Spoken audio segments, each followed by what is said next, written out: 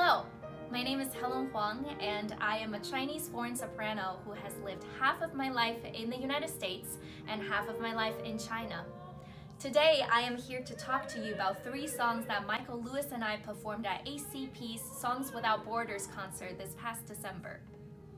These three songs all came from the song cycle Chun Si Qu, or Spring Nostalgia by the composer Huang Zi.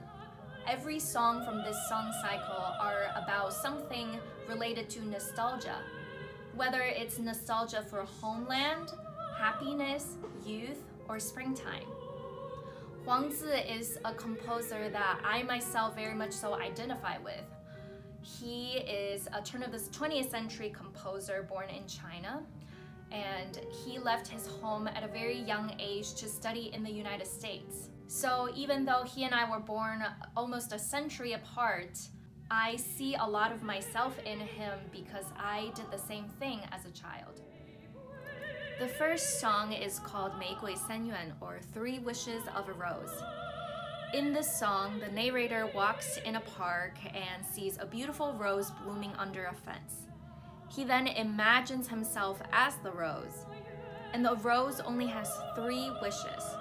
The first is for the storm not to break him.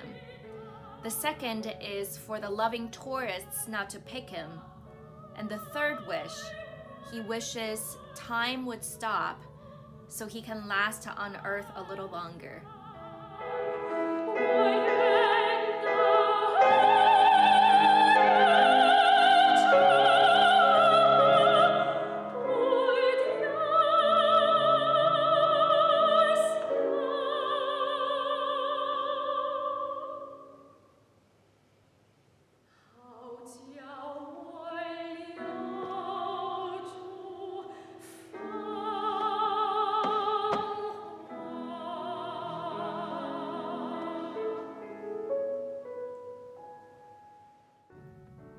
This second song, Hua Fei Hua, or A Flower That Is Not a Flower, is a little more complicated because it's a riddle.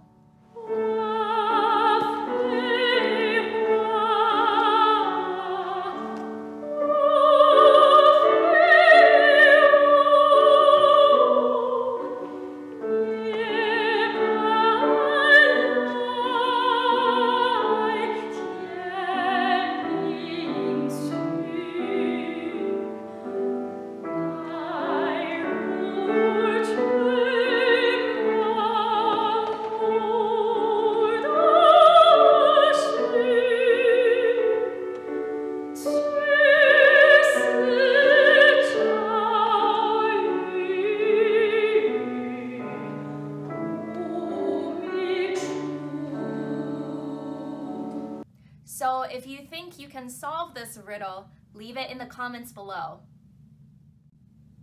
This last song, Si Xiang, or Nostalgia, is about how everything that's beautiful in the springtime, the water, the birds chirping, the trees, the flower, the grass, can remind you of home. And as someone that's lived half of my life in the United States and half of my life in China, I can certainly relate to that. For example, whenever I see my favorite insect, which is dragonfly, I am instantly transported back to Beijing in the summertime.